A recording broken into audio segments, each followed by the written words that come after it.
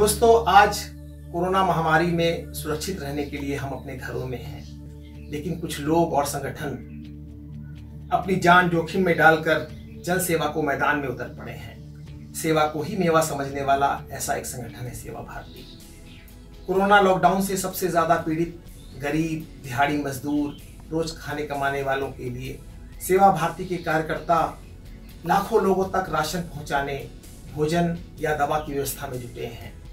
इसके अलावा बुज़ुर्गों, घर से दूर बैठे छात्रों और नॉर्थ ईस्ट के भाई बहनों की यह विशेष मदद कर रहा है। यहाँ तक कि पशु पक्षी का ध्यान रख रहे हैं।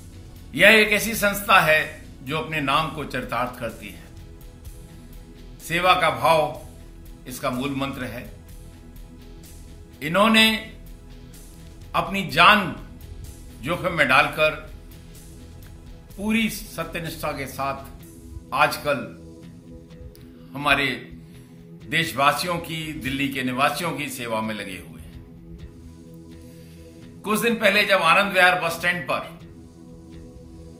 एक समस्या आई थी तो केवल एक आवाज़ पर हज़ारों की तादाद में ये स्वयंसेवक वहाँ पहुँच गए और इन्होंने फ़ौरन क्राउड मैनेजमेंट, लोगों को भोजन उपलब्ध कराना और कुछ जो चोटिल थे, उनको तुरंत अस्पताल पहुँचाने में पुलिस की और वहाँ पे जो एडमिनिस्ट्रेटिव मशीनरी थी, उसकी मदद की।